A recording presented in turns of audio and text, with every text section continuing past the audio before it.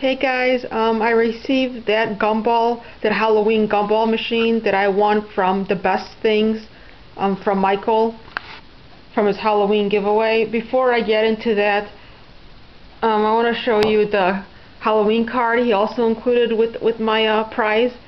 It says vigilance is our best defense and it has a picture of zombies on here.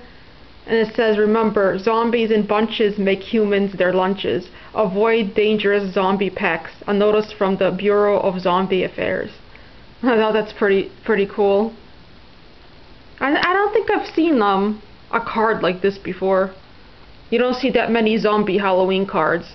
And then in the in the middle says wishing you a safe and happy Halloween. It says Liz, thanks for um, watching my channel, and I don't want to tell you what it says the rest because I wanted to show you myself, but on the bottom says, P.S. Put this card in a frame and you've got an easy decoration.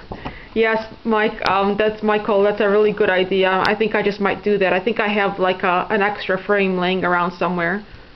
So thanks for the card. And I save all my cards, so this is this is going to go in my in my collection of Halloween cards that I've been saving over the years. Okay, now on to the prize package.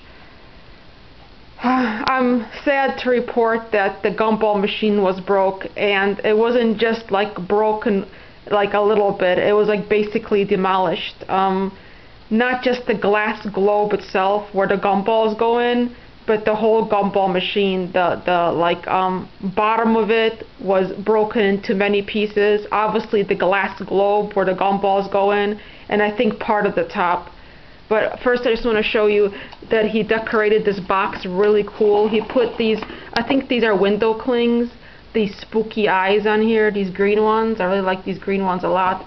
And then on the back, more eyes. And then these huge eyes on this side. And I thought that was really cool. Okay, and let me show you now what happened. So when I opened the box, all I saw was that the top of the gumball machine was cracked, like the lid of it. And then I'm like, oh god, if the lid is cracked, then I hope that the rest of it's not broke too, like the glass globe. And it was. So this is, I already took it out of the wrapping.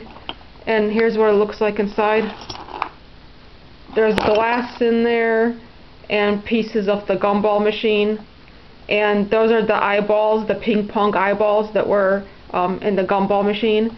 And there's oh, tons and tons of glass. Like I said, it's basically demolished. I don't know what um, UPS did. I don't know if they dropped it or they really manhandled it really bad. But I I don't have no idea how it was broke so bad. Even the non-glass part was broken into many many pieces. I mean, I don't know what what they did with it. Maybe they dropped it somewhere. I don't know. But here's what some of it looks like. Here's part of it over here, and another part over here, and then here's more pieces. And then here's even more pieces.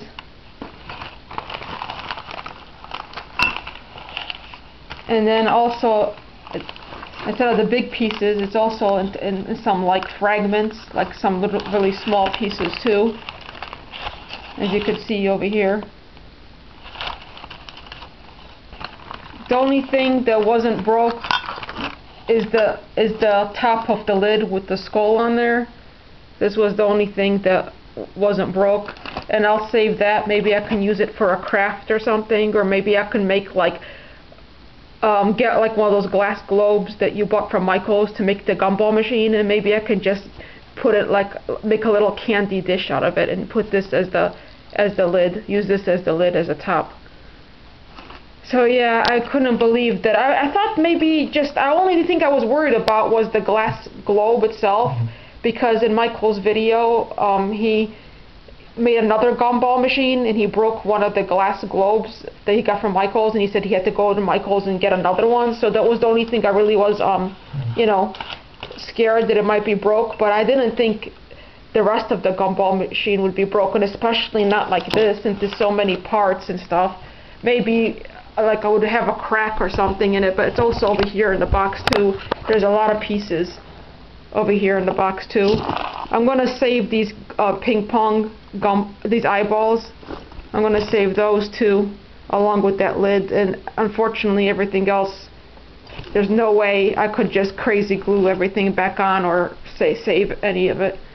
So I'm so sorry, um, Michael, because I know that you spent a lot of time making these gumball machines, and not to mention the money that it cost you to make it for the supplies and to ship it.